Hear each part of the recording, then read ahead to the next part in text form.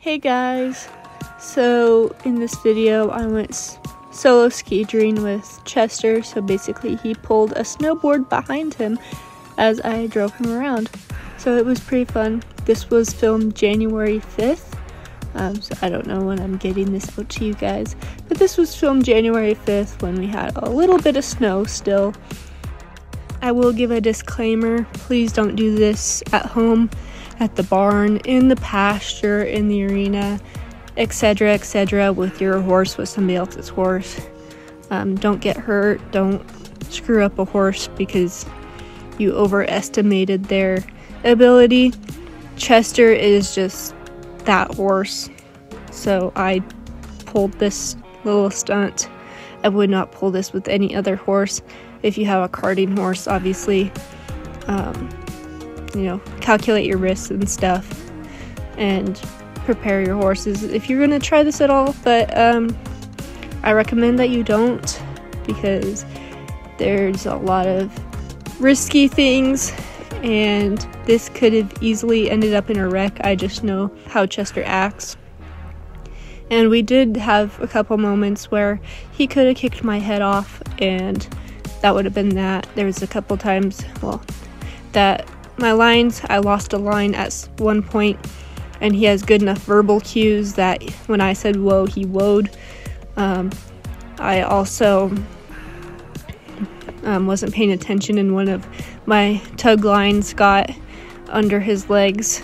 And so later in the video, you'll see me untangling him, but you'll also see how he stood perfectly still for that. So just know that this is not something just to go randomly do with your horse. This is a lot of stuff. Chester has been ground driven for hundreds of miles over the course of his career with me. He knows all of this. He's pulled logs, he's even pulled the sled before it was more on dirt, so my sled's kind of ruined on the bottom because of that. But just know that this horse is kind of special and it's not not an everyday thing you can go just hook up your horse, tie him to a sled, and call it good. Um, there's lots and lots of preparation and lots of dangers in this. So, yeah, that's my disclaimer. Um, just don't don't do it if your horse isn't just that horse, and even if you think it's that horse, you know, be very careful. So, yeah. So, anyway, back to the more fun stuff. Um, I basically warmed Chester up, ground driving him. He hasn't gr- ground driven in a little bit, so I was just making sure that he still understood his cues and freshed him up a little bit on it. Then I drug the sled behind him, like just myself dragging it, and then I tied it to one side. Um, I decided I needed two tugs instead of just the one, so I went and got both those. They're just lead ropes, um, two of my lead ropes that I made, and they're just tied onto the sides of the surcingle and then tied together and then clipped to my snowboard. My snowboard has a little hole in it so that I can clip stuff on. And he stood perfectly for me to kind of hitch him up and everything. Um, and as you can see, he kind of stops right here.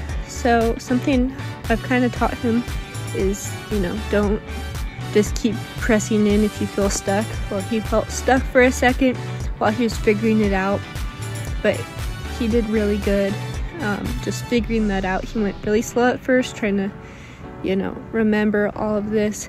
You can see he's super tender about his steps, and I just have this little, I guess you would call it a whip, um, just to guide him a little bit. I never actually hit him with it. It's a very light tap, something that I could tap anyone with and it would not not cause pain or really discomfort, it's communication. It does look a little scary.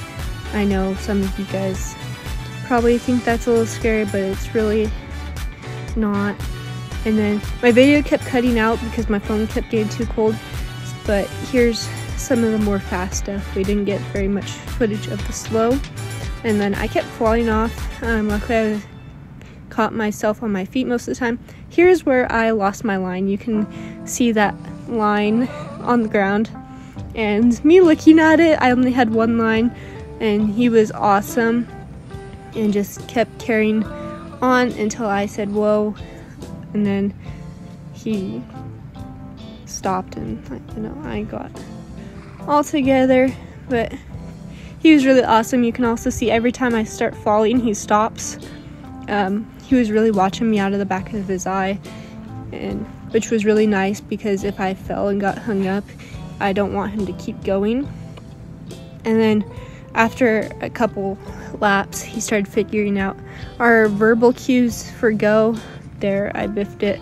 There was one time that I literally face planted. I ate the snow, but it was not on video because my phone got too cold. So, but we got some good footage anyway. Earlier, I spoke on what like harness system I have. Um, for his bridle, he just has an English bridle.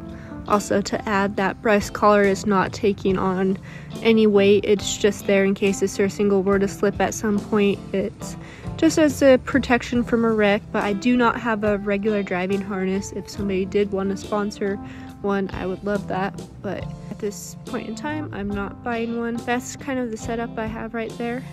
In the future, I would like to have a full cart set up for him. This is where that one tug line got underneath him. I got off my board and was having him turn around, and the one side went loose, and he got his legs over top of it. But you can see how good he stood for me to untangle him and then get my lines fixed because they got a little bit tangled up. But that's kind of all of the video I got. Here are some pictures I got from that. Um, I've been loving taking pictures. Here's biffing it. But yeah, thank you guys for watching. Um, don't forget to like and subscribe. We're also on Facebook and Instagram and Pinterest.